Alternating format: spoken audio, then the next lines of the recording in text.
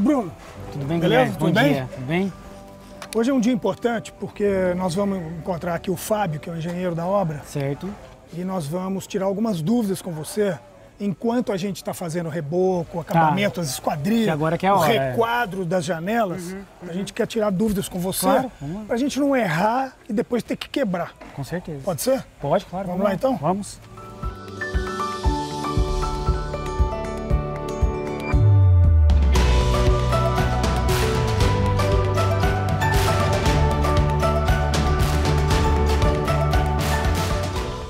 Bem? Bom dia, tudo bom? bem? Bom. Bom dia, Fábio. Tudo bem? Bem, graças a Deus. O Fábio é o Bruno. É, o Bruno é responsável pelas esquadrias de PVC e alumínio, tudo da obra inteira, entendeu? Marquei essa visita com ele exatamente porque, como a gente está fazendo agora o requadro das janelas, dos pergolados, é um momento importante para ele nos orientar, para a gente não fazer nada errado e depois ter que quebrar, ok? Correto. Já podemos ver esse pergolado aqui, Bruno? Vamos, vamos. Qual que seria a dúvida aqui? Olha, aqui nós temos, Bruno, um pergolado Certo. de é um vidro em cima e um vidro depois na Certo. vertical. Então, Você podia instruir o Fábio aqui o que ele precisa fazer para Tá. Acho que aqui, ô, ô, Guilherme, a principal ideia é o seguinte, é definir o layout do tipo de pergolado que você quer, né? Como a gente vai trabalhar com estrutura de alumínio e depois o vidro por cima, a gente pode ver com, depois com o André qual é a- a- a- o design que ele vai querer que eu fale. Ele vai querer tubo passando, a gente pode fazer diversas coisas. Eu acho legal, eu gosto de sempre dar a solução para o cliente, né? Nesse caso aqui, como você tem essa área legal, que você tem uma escada aqui, é legal o quê? Você tem essa visão, nada de impedimento. Minha ideia, tá? O que a gente poderia fazer é o seguinte, agora acho que é a hora de fazer isso aí. Eu trago para você um perfil, a gente embute esse perfil na parede, né? Vai ter que cortar. E depois a gente vem engavetando esses vidros, junta seca. Para quê? Para você não tenha nada nem impedimento. Então a gente vem com ele desde aqui de trás até lá na frente. Depois a gente sobe um vidro aqui para junta vertical seca. pra juntar seca. Então você não vai enxergar alumínio, nada. só vidro e vai vidro. enxergar só vidro e vidro. Então a- essa visão sua vai ser limpa. Então, Fábio, anota já esse item para você discutir com o André. Se, se ele. Porque ele tinha especificado o pergolado aparecendo as peças. Isso. E o- como o Bruno está dando a ideia de passar o vidro direto, eu gosto particularmente. Mas aí precisa da aprovação do André. Ótimo. Mas é possível também fazer aquele outro, tranquilo. Entendeu? Aí É só mais questão de definição, de estética do produto mesmo. Tá? Como nós estamos falando de, falando de pergolados, então já vamos aproveitar para ver os outros pergolados lá de cima? vamos, claro. Ótimo.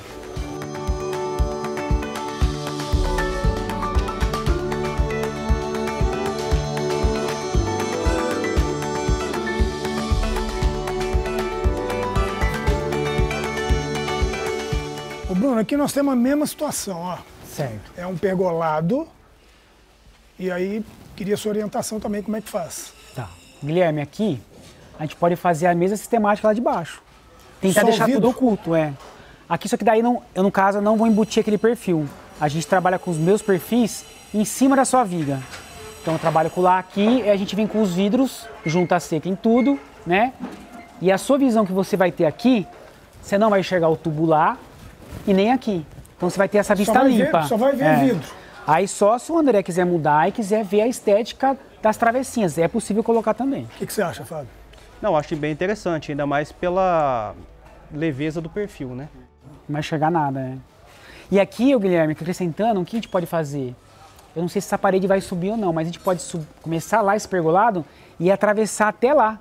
Uma coisa única. Sem dúvida, Entendeu? pode passar Uma único. coisa única. Aí você deixa as paredes de acordo com a caída do vidro. Exatamente. O vidro passa é, direto e as exatamente. paredes ficam A acompanhando. inclinação eu jogo no meu perfil tudo, a água vai cair pra cá sem problema algum. Então você pode nascer o vidro lá de cima Certo. e aqui ele pode, pode atravessar e dar uma Atravessar um pouquinho. aqui. Pode ser, é. Pra mim Ou tá- se você quiser colocar um rufo também, aí fica a questão. Não, eu prefiro ele direto Tá mesmo. bom, pode ser. Bom, pra mim tá perfeito. Só precisa agora, segundo item, Tá. você... Vamos validar com Tá ele se vai ser validar. essas travessas ou se vai ser oculto. É, Tá. vou validar com o André. Positivo. Já vamos fazer a validação, que pelo menos já fica todo mundo na mesma página, né? Tá bom. Ô, Fábio, vamos aproveitar que o Bruno tá aqui e tira sua dúvida com relação a essas esquadrias aqui. Positivo. Bruno, estou fazendo a marcação de todas as esquadrias para poder já tirar a medida final. Certo. Eu quero saber se tem alguma instrução referente a essa passagem aqui. Tá, aqui é o seguinte, o que eu preciso saber de vocês? Aqui, na verdade, no orçamento inicial seria uma porta que eu acho que não vai ser uma porta mais, porque a passagem que você tem para lá é a acessibilidade e É. manutenção da sua área aqui, É certo? acessibilidade, Então mas eu não indicaria fazer uma porta, pode fazer um janelão. um janelão. Então, assim, eu acho que o legal aqui, Guilherme, é a gente subir uma mureta daquele tamanho aqui, né? Fechar, porque daí acontece. Aqui você vai ter. Você vai abrir aqui só para manutenção. É. Então a gente sobe uma mureta, ou menos daquela, daquela altura, da grossura da viga. Depois eu venho, requadra tudo certinho e eu já venho instalar esse quadro de PVC. Correto. Finalizando esses requadros, aí vocês vêm bater a, a trena mais uma vez para confirmar a medida. Isso, exatamente, assim, ó.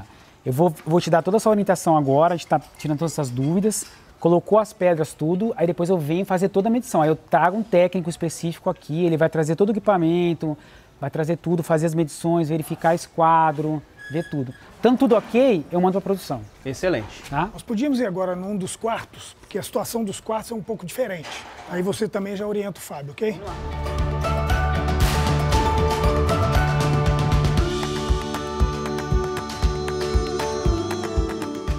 Ô, Fábio, conforme eu falei, aqui eu sei que aqui nos quartos a gente tem uma situação diferente, né? Isso. Então discute aí com o Bruno também pra gente ver o que que faz. Bruno, no caso, nesses quartos aqui, a gente não vai ter a questão da mureta. Certo, Eles estão estudando passar o trilho direto já embutido sim. para que fique mais fácil. Tá. O que que você acha, É, Bruno? aqui, como vai ter o guarda-corpo, igual a gente tinha comentado, aqui eu não vejo necessidade de ter mureta. Que aqui, quanto mais baixo você tem, você vai ter, quando você for abrir isso aqui, você vai ter aquela. Vai ter nada de impedimento, eu acho Já fica legal. uma- é, uma visão bem Aqui eu aberta. faria sistema porta mesmo. O trilho normal, sobe aqui, te deixa o gabaritinho, você faz tudo. Só que um detalhe aqui é o seguinte, já vou até te orientar aproveitando que você está aqui. A gente tem que pensar o seguinte, tudo que for esquadria, eu preciso ter boneca tanto na lateral quanto em cima, tá? Por quê? Não necessariamente precisa ter. Questão de estética, a funcionalidade dela vai funcionar do mesmo jeito. Porque pensa comigo, quando você tem uma boneca, por exemplo, ali você vai precisar fazer uma boneca. Quando você tem uma boneca e eu vou instalar a esquadria, eu tenho a guarnição dela. Então ela vai subir e vai fazer a volta. Vamos supor que você tem um vão que você não tem como fazer a boneca, não tem problema, pode ser, ela vai funcionar e vai ficar legal. Só que a estética, na hora que você olhar, ela vai ter só uma guarnição em cima e um L. Então a visão que você vai ter dela vai parecer que está faltando uma perna dela. Então assim, eu sempre oriento o quê? De ter a boneca tanto em cima quanto embaixo. Tá? Então isso é muito importante. Então aqui o ideal aqui você já pegar, já pede pro pessoal que aqui você tem espaço. Já desce uma boneca aqui, e aqui que acontece? Tem que pensar o seguinte também: a, a- a porta, a janela, tudo que for esquadrilha sempre vai facear do lado interno. Sempre. Né? Então acontece. Você vai ter que seguir a viga de cima. Então aqui um exemplo, você tá vendo que essa viga aqui, ó, ela tá diferente de tamanho? Então o que, que é o ideal a gente fazer? Descer uma bonequinha aqui também. Da largura da viga de cima até embaixo.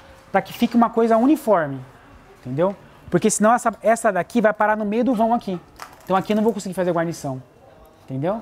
Correto. Não, já vou solicitar para a equipe, que aí já vem requadrando tudo. Isso, aproveitar que é essa hora de fazer isso.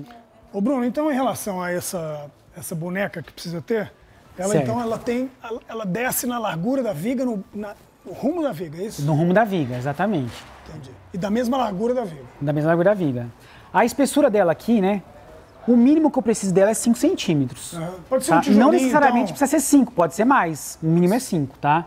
Se você, por exemplo, assim, ah, eu vou aproveitar um tijolo, não tem problema. Pode ser, só que daí você perde vão, né? O tijolinho tem quanto, Fábio? Tijolinho tem de 5 a 9. Então, coloca ele, sobe ele. né? Entendido aqui, Fábio? Tá, tá entendido. Então agora uma última dúvida aqui, Bruno. Ô Bruno, aqui nós temos uma situação bem peculiar, né? Certo, Que isso aqui é uma, uma, uma esquina, né? certo. Eu não sei o que, que você vai orientar o Fábio. Ele vai ter que botar um pilar aqui? Não, Guilherme, aqui na verdade é o seguinte. O layout que eu pensei no seu projeto é o quê? Fazer uma porta aqui, uma porta aqui. E essa, essa porta, o fechamento dela vai ser unificado aqui.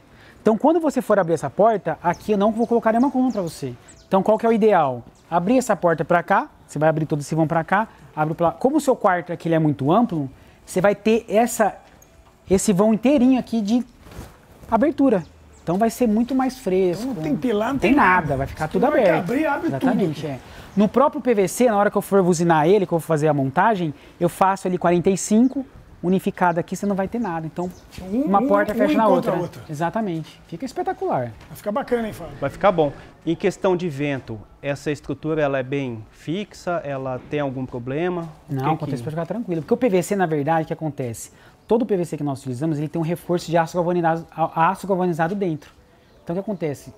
O tamanho dessa porta aqui, tranquilo. Faço portas de quase 6 metros de altura que não tem problema. Que ela é, tem um reforço interno para esse tipo de problema mesmo. Ótimo. Pra não garante nenhum empenamento, nada. o conforto, né? É, que igual eu falei pro Guilherme, aqui você vai ter um conforto, incluindo a parede, que a parede ele fez uma parede bem grossa, você vai ter um conforto acústico aqui gigantesco. Fechou isso aqui, cara, vai até dar dor no ouvido.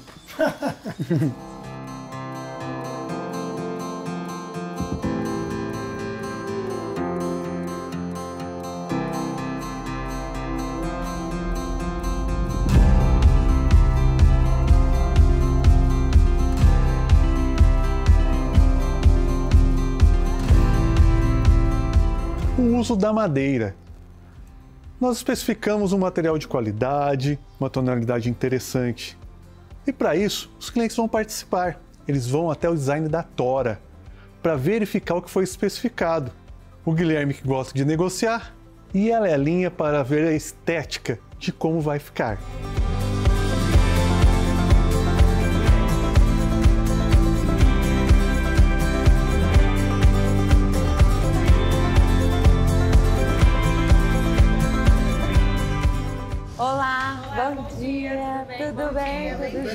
Obrigada. A gente veio ver o Thiago.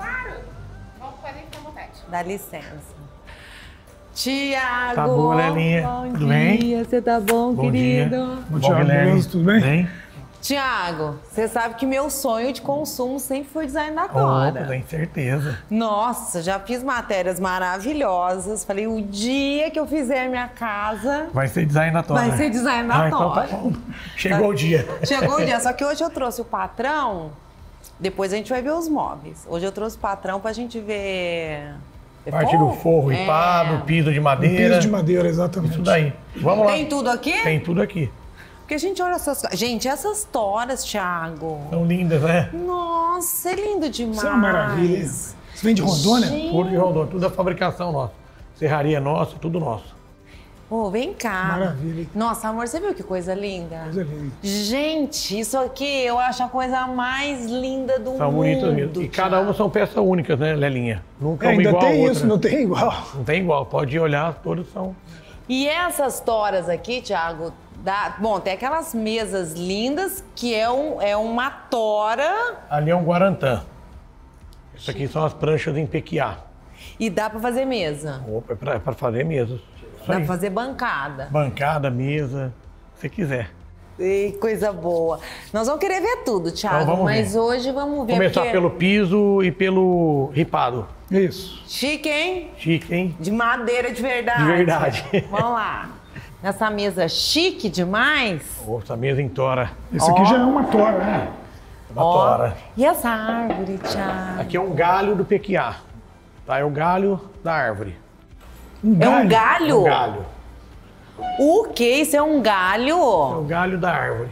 Nossa, maravilhoso, Tiago.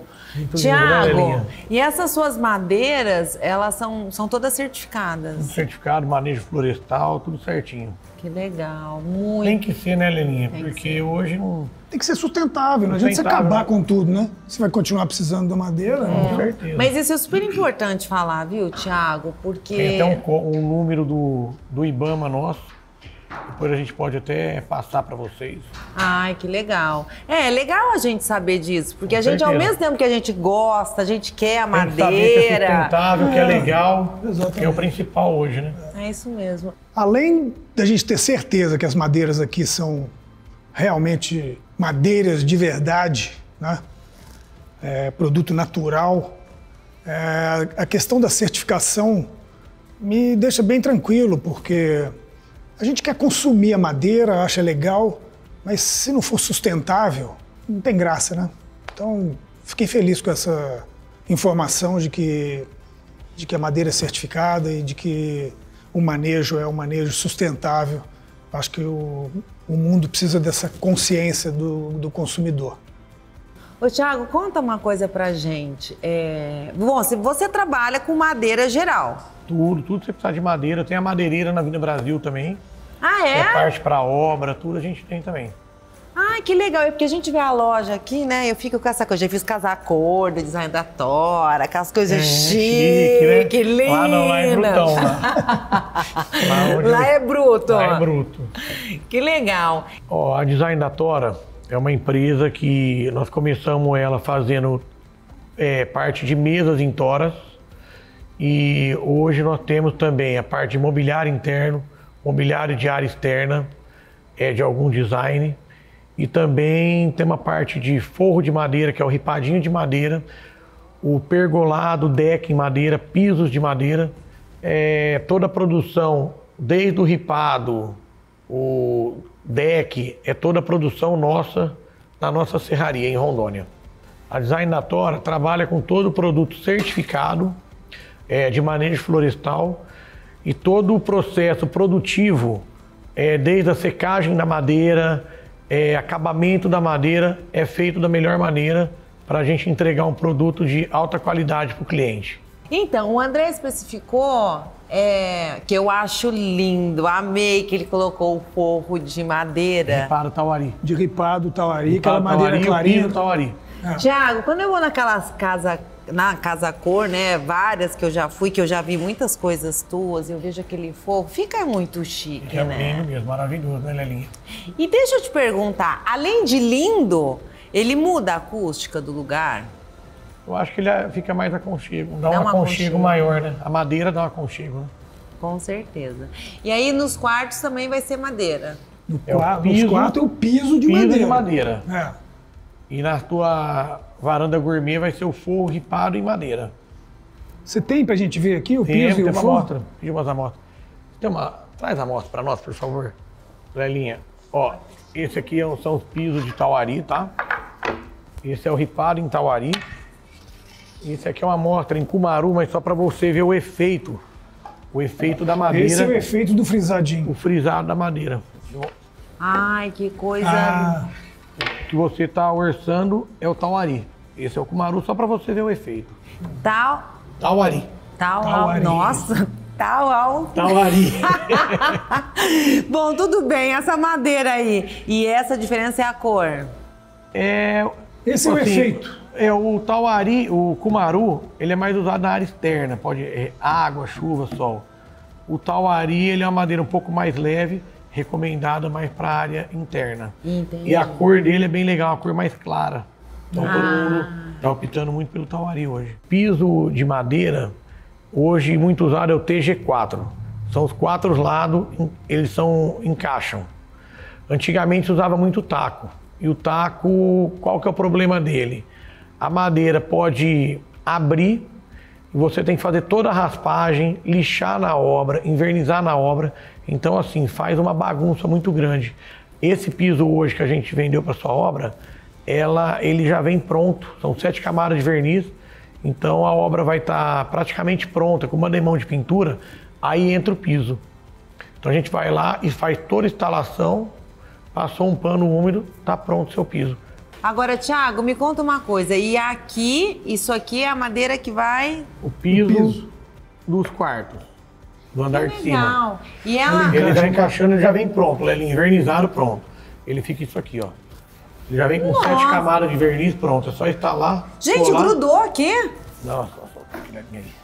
Olha, não, mas ele é um Ele encaixe? encaixado, É feito o- pra encaixar, né? ele não fazer isso, né? Tiago, que, É. que bacana isso aqui, Tiago. Isso é madeira maciça, né? Isso é madeira maciça, tá? É pura madeira, uma peça única. Tiago, eu vou te falar. Espetáculo. O piso de madeira é outra coisa, né? Dá um aconchego também, dá um aquecimento no quarto. Já vem pronto, então? não tem que resinar nada. Nada de Então você tem que, ter, tem que fazer por último na obra.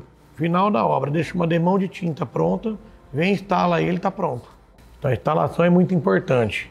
A mão de obra é toda própria nossa, porque não adianta eu ter um produto bom, uma instalação ruim. Que, que vai acontecer? Não vai dar certo. Tem todo um processo para a madeira poder ser aplicada, entendeu? Desde depois do verniz que vai passar, como que passa o verniz, entendeu? Então tem alguns detalhes que faz toda a diferença.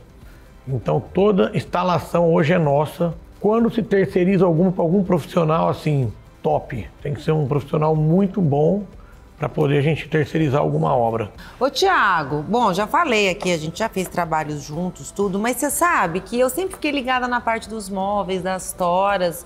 Eu nunca tinha me ligado dessa, de- desse braço, né, da tua empresa, que é. Hoje é o ripado, o piso de madeira, parte de pergolado, deck. A gente tem feito muitas obras em Ribeirão. Mão de obra nossa, tá? Isso é muito importante. É porque não adianta julgar o produto desse na mão de qualquer um e depois não ter o resultado que precisa Com ter. certeza. É isso aí, Tiago, é uma coisa que a gente. Eu, eu já até comentei isso com o Guilherme, né? A gente vai atrás de produtos muito bons, uma coisa muito bacana. E aí, se Tem uma não- instalação muito boa, senão Então, se traga não- o material Estraga o material. né? Agora, como é que é? Você monta um orçamento pra gente? Vou montar um orçamento com a metragem quadrada de vocês da casa. O André já te passou as Já metragens. passou a metragem toda pra gente. Eu já vou pegar o orçamento e passar para vocês. E na última linha você põe um descontão. Um descontão bem grande. Ó. Levinho Guilherme. Então tá bom. Aquele. Ah, mas o Thiago não tem erro aqui. Uma das coisas que eu acho muito legal, Thiago, é que você tem produtos, você tem um atendimento, tem essa loja linda, mas lá no final, aquele precinho lá do orçamento, o preço do Thiago é muito bom. É bom. É. não, É. Qualidade e preço. É, o, o Thiago tem um preço Essa muito. produção é própria também facilita. Puro produção própria nossa. É por isso que você consegue o preço que você consegue?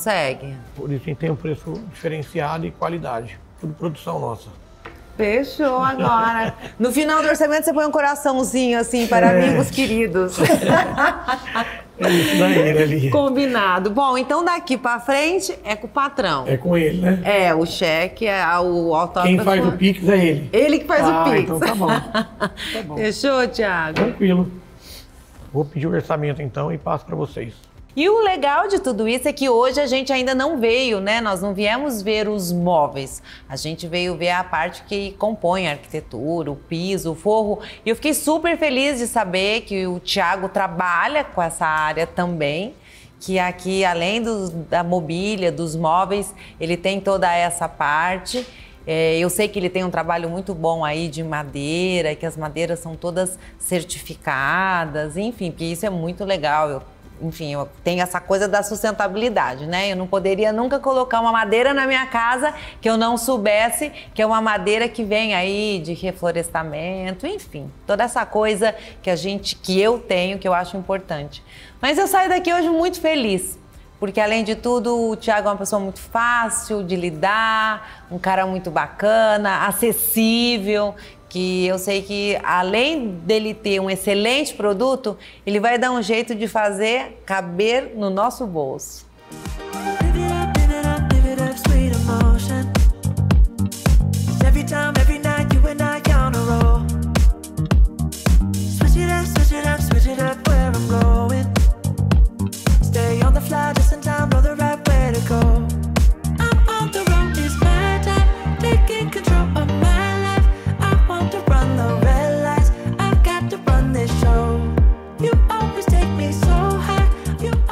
Sabe aquela água quente que sai do chuveiro?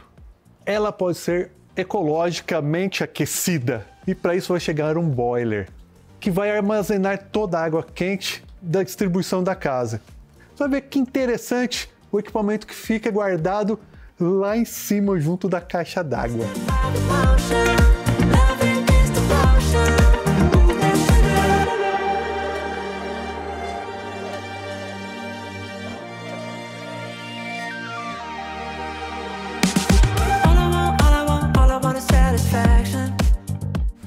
Bom dia, Fábio. Tudo, Tudo bom, bem? Werner? Tudo bom? Tudo bem, graças a Deus. Hoje eu vim aí fazer a visita técnica aqui. O Guilherme pediu para dar uma olhada. É, estamos dando saber- um ritmo adiantado aí. Já queria ver o que, que precisa fazer, um checklist para a gente providenciar o material que é necessário para finalizar esse boiler. Eu vim dar uma avaliada, ver quantos banheiros tem na casa, onde são os pontos de consumo de água quente, se vai ter água na cozinha, né? Quantas pessoas vão morar na casa. E ver o projeto também para a gente fazer uma avaliação correta. Vamos dar uma andada na obra? Vamos, vamos Vamos mostrar sim. o que, que tem aqui. Fica à vontade. Obrigado. Ô, Fábio, aqui em cima, é, são quantos banheiros, você sabe me dizer? São quatro banheiros. Quatro banheiros. Tá. E a cozinha vai ter água quente também. Isso, todos eles possuem um, misturador. Certo. Começando por esse daqui, ó. Ah, já está bem adiantada a obra mesmo. né? Aqui, tá vendo? Aqui nós temos já a tubulação de água quente, está quase finalizada. Ela já vem com a tubulação de água fria, Certo. desce direto no misturador e já consegue dosar. Os registros vão ser monocomando, provavelmente? Positivo. São dois chuveiros aí, né? De parede, né? Positivo. Tá. Entendido. Não, perfeito. Já deu para mim ter uma boa ideia já. Aí em questão do boiler e a ligação na parte de cima, é, como que vai funcionar isso? Quando trazer o equipamento, a gente, eu trago o meu técnico aqui também e a gente faz uma avaliação, mede todas as tubulações e passa uma relação de material. Isso é importante, pelo menos a gente manter o mesmo padrão de peças e acompanha a questão da qualidade da instalação. Não, pode ficar tranquilo. A gente faz uma relação com os produtos, os materiais todos certinhos e te passa. Positivo. Tá Muito bom? Give me that, give me that, give me that good reaction.